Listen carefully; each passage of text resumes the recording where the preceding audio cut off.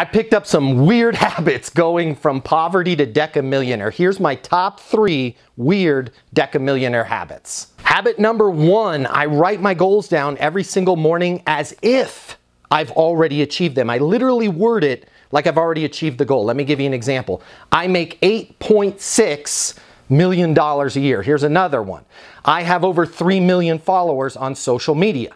Habit number two, on that same sheet that I write my goals down, I have a pre-printed checklist of the things that I need to do every single day that's going to put me in a position to achieve those goals that I wrote above. Let me give you an example that matches those two.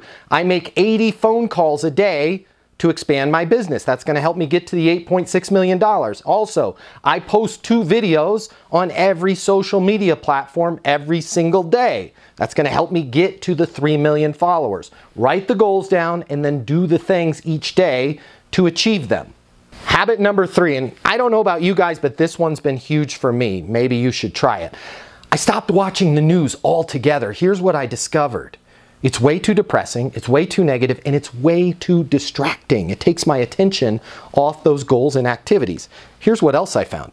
If something's really important in the news, if something is really going on in the world that's going to affect me, that news finds its way to me. It's magical. It's very interesting. I'll get a text from my mother. Somebody, a friend or family member will tell me. Most of the time, the stuff they tell me, it's not important. But the really important stuff, I will know about it without finding, without watching the news. It's so important to keep your mind focused on those goals, on those activities.